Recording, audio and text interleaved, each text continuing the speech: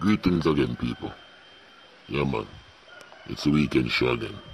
Hope you had a good weekend. Anyway, this week we talk about saggy pants. And the man them a walk with them pants on them body part. That not right, people. It's not a Jamaican culture. You don't know where Jamaican take up this thing from. All of a sudden, you see all of the young youth them nowadays I walk with them pants.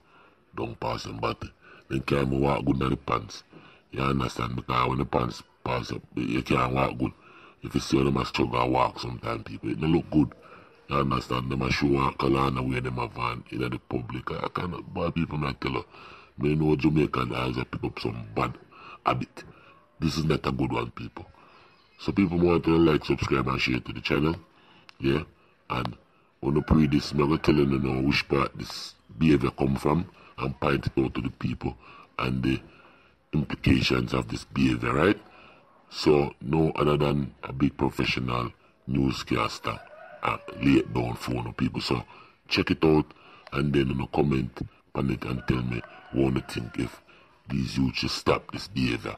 Yeah, especially in this country of Jamaica, because I know our culture. Alright, people? Here we go.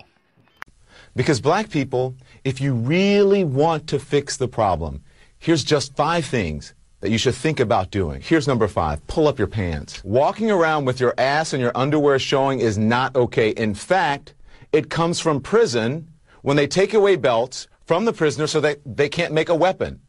And then it evolved into which role a prisoner would have during male on male prison sex. The one with the really low pants is a submissive one. You get my point? That means absent fathers. And the studies show that lack of a male role model is an express train right to prison. And the cycle continues. So please, black folks, as I said, if this doesn't apply to you, I'm not talking to you. Pay attention to and think about what has been presented in recent history as acceptable behavior. Pay close attention to the hip hop and rap culture that many of you embrace. A culture that glorifies everything I just mentioned. Thug and reprehensible behavior. A culture that is making a lot of people rich. Just not you. And it's not going to.